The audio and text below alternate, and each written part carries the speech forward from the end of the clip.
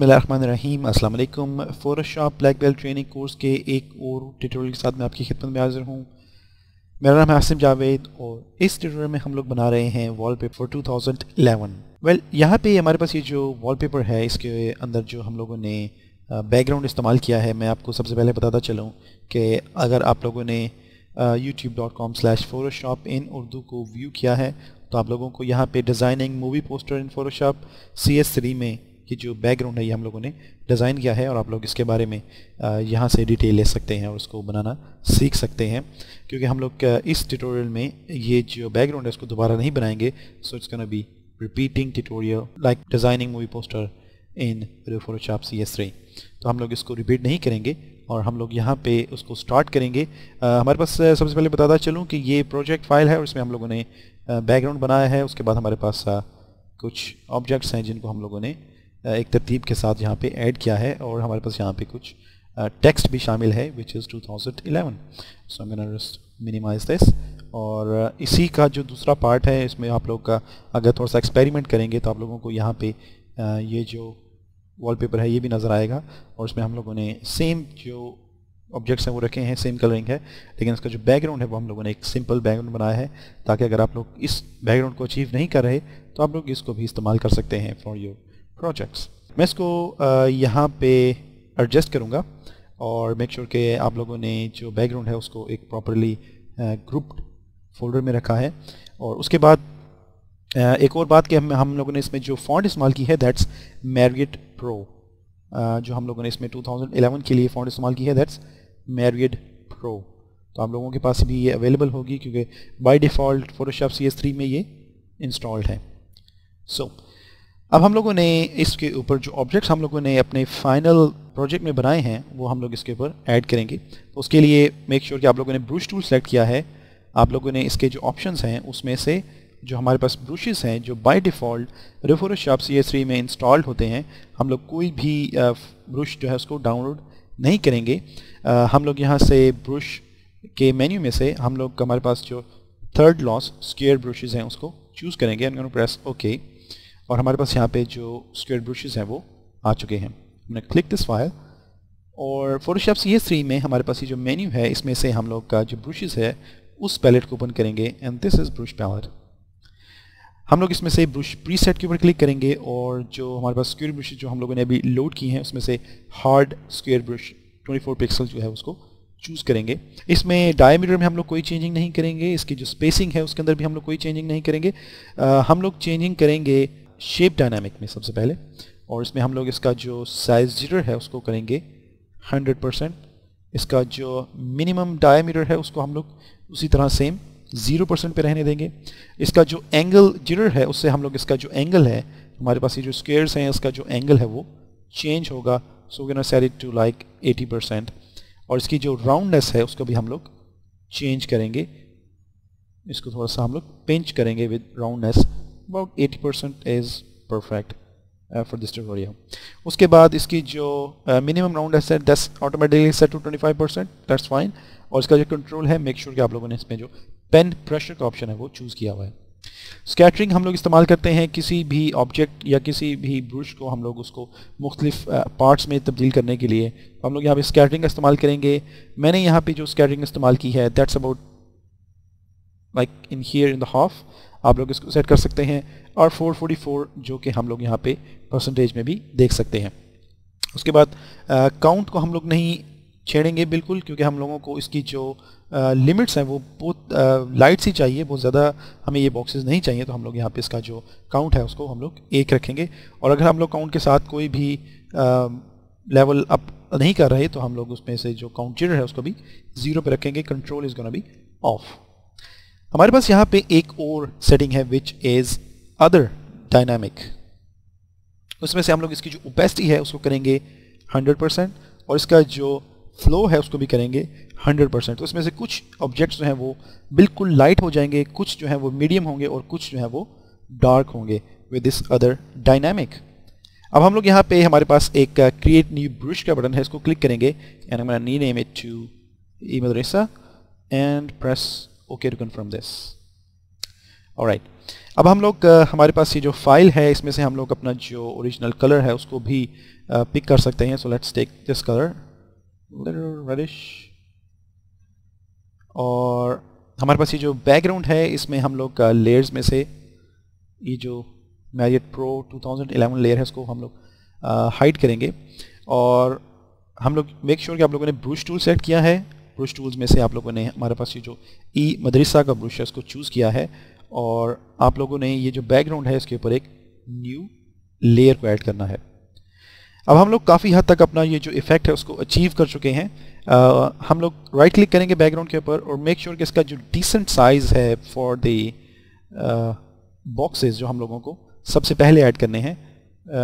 यहाँ पे हम लोग 12 20 1280 एटी बाई सेवन ट्वेंटी के लिए about this size is perfect लेकिन हम इसको थोड़ा सा और ज़्यादा करेंगे। सो टेक इट 45 पिक्सल्स और अब मैं यहाँ पे सबसे पहले इसको सेंटर में मैं ड्रैग करूँगा लाइक दिस और मैं इसको राइट क्लिक करके इसका जो साइज़ उसको कम करूँगा अबाउट हाफ़ ऑफ़ इट और इसको यहाँ पे बॉर्डर में अगर आप लोग टैबलेट यूज़ कर रहे हैं तो आप लोगों को ये नहीं करना पड़ेगा क्योंकि आप लोग टैबलेट के साथ बहुत अच्छी तरह इसको अप्लाई कर सकते हैं but I am using mouse तो मैं इसको दोबारा 28 पे एडजस्ट करूँगा एंड सबसे पहले इस लेयर को हम लोग ब्लोर करेंगे filter blur and gaussian blur इसको ब्लोर करेंगे हम लोग अबाउट फोर करेंगे तो हमें थोड़ा सा इसका जो व्यू है, थोड़ा सा क्लियर मिलेगा। प्रेस ओके उसके बाद हम लोग एक और लेयर लेंगे make sure sure brush select है कलर आपके पास वही सेलेक्ट है। हम लोगों ने अब इसमें थोड़ा सा और ये जो स्पार्कल्स हैं, इसको थोड़ा सा ऐड करना है। Like this so you can go little down और अप डिपेंड करता है आप लोगों के ऊपर। इसको भी हम लोग ब्लोर करेंगे फ़िल्टर ब्लोर गॉजिन ब्लोर लेकिन इस दफ़ा हम लोग इसको करेंगे टू पिक्सल्स और ये जो है वो बैकग्राउंड से थोड़े से ज़्यादा शार्प हैं, जो कि हम लोगों ने इसके पहले ऐड किए हैं, उनसे थोड़े से ज़्यादा शार्प हैं। थर्ड हम लोग लेयर लेंगे और इन तीनों को आप लोग लेयर्स में लेंगे ताकि आप लोग जो ब्लोर का ऑप्शन है उसको प्रॉपरली इस्तेमाल कर सकें। और इसी तरह मैं दोबारा इसका जो साइज़ उसको थोड़ा सा बड़ा करूँगा और इसको दोबारा सेंटर में अप्लाई करूँगा। और साइड्स पे भी करूँगा। Little bigger than this? और ये जो हमारी थर्ड लेयर है, इसको मैं ब्लोर करूँगा। कॉजिन ब्लोर वन पिक्सल तो ये ज़्यादा शॉर्ट भी नहीं है और ज़्यादा ब्लोर भी नहीं होंगे। So this is the effect जो कि आप लोग अचीव कर सकते हैं। एंड जूम आउट अब इसकी जो ओपेसिटी है, जो हमारे पास सबसे लास्ट लेयर है, जो ब्लोर है, उसकी ओपेसिटी को मैं करूँगा अबाउट 80 परसेंट उसके बाद हम लोग करेंगे 90 तो ये जो ओवरऑल इफ़ेक्ट है ये आप लोगों को नज़र आएगा थोड़ा सा और राइट अब हम लोगों को इसमें जो टेक्स्ट है उसको ऐड करना है। मैंने यहाँ पे मेरिट प्रो से 2011 टाइप किया है। आ, उसको मैं थोड़ा सा रिसाइज करूँगा by pressing shift and alt from my keyboard और अपने कीबोर्ड से कंट्रोल को प्रेस कीजिए और इसकी जो लेयर है उसका जो थंबनेल है उसको क्लिक कीजिए तो आप लोग इसकी एक सिलेक्शन लेंगे। मेक श्योर sure कि आप लोगों ने एक न्यू लेयर ली है और यहाँ से हम लोग अपना जो कलर है उसको चूज़ करेंगे दोबारा और इसको मैं जूम इन करूँगा। मेक श्योर sure कि आप लोगों ने ये जो टेक्स्ट लेयर है इसको हाइड किया है। अब हम लोग सिर्फ़ सिलेक्शन देख सकते हैं और हमारे पास ये जो ब्रुश है वो ऑलरेडी सिलेक्ट है और हम लोग ये जो एम लेयर है इसके ऊपर जाएँगे। इसका जो साइज़ उसको थोड़ा सा कम करूँगा। And you can start brushing on this 2011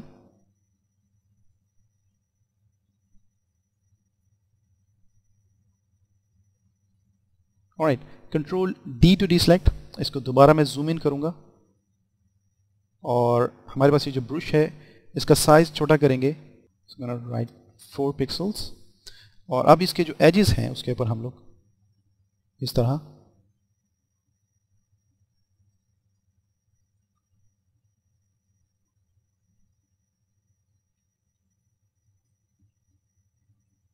ये जो ब्रश है, इसको अप्लाई करेंगे।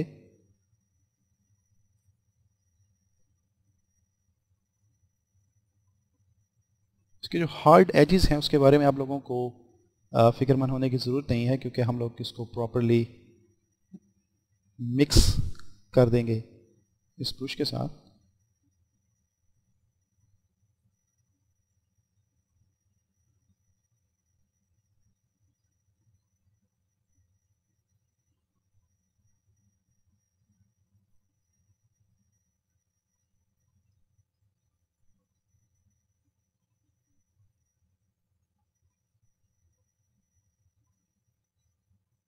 राइट इसको मैं जूम आउट करूँगा. So this is our wallpaper for 2011 uh, मैं यहाँ पे हमारे पास ये जो वॉलपेपर है इसके बैकग्राउंड के ऊपर एक और न्यू लेयर लूँगा और अपना जो बैकग्राउंड कलर है उसको फिल करूँगा और उसके बाद इसके ऊपर भी एक न्यू लेयर लूँगा ताकि मैं इसके ऊपर एक वाइट कलर जो है उसको ऐड कर सकूँ. एंड मेक श्योर कि आपके जो ब्रुश है उसमें से uh, जो हमारे पास सॉफ्ट ब्रुश है उसको चूज़ किया है. इसका जो मास्टर डायमीटर उसको मैंने काफ़ी बड़ा किया है। And you can just click once तो आप लोग इसका जो बैकग्राउंड है ये वाला भी इसमें शामिल कर सकते हैं। So this is overall effect and final result for 2011 wallpaper जो कि हम लोगों ने ऑलरेडी अपना जो फेसबुक ग्रुप है उसके ऊपर ऐड किया था। सो so आप लोग uh, ये दोनों इफ़ेक्ट जो हैं वो शामिल कर सकते हैं अपने प्रोजेक्ट्स में।